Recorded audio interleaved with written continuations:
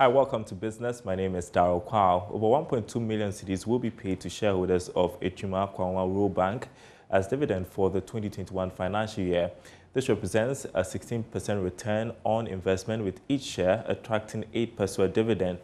It comes after the expiration of the directive by the Bank of Ghana for deposit-taking institutions to halt payment of dividends in two financial years due to the impact of COVID-19.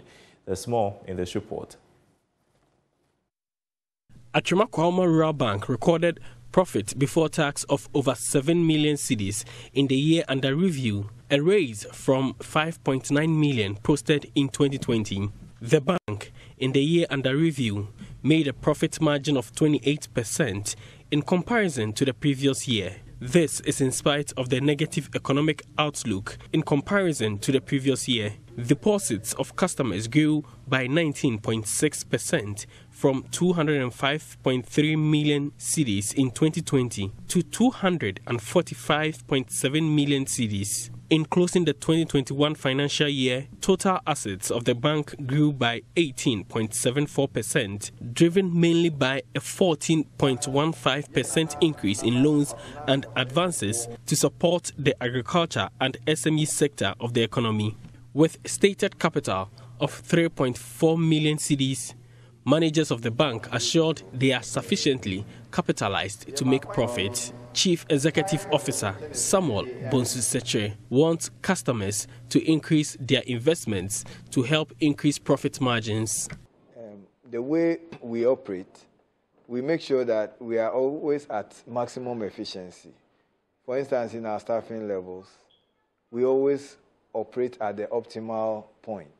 And when you operate like that, your profitability is surely going to go up. And then again, uh, we encourage our staff to ensure that there's no wastage in the system. We build that culture in them. They know that the bank is a bank that rewards those who work hard. And so they work hard to make sure we make more. And then they also work hard to cut on wastage. And it has served us well over the years we are continuing along those lines. Management of the bank says prudent strategies had to be adopted to keep the bank afloat despite economic challenges. Vice Chairman of the board, Amwa Afrifa, says management of the bank kept to its strategic plans. It based on the strategic issues that we discussed, that we planned for the past five years, which is ending December 2022. We thought it wise that it's very important to achieve the, the, the plans that was uh, stated within the strategy.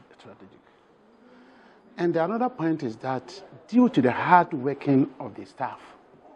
Meanwhile, some hard-working staff of the bank have been rewarded by the bank. For Joy News, Nana Ejima Kumasi.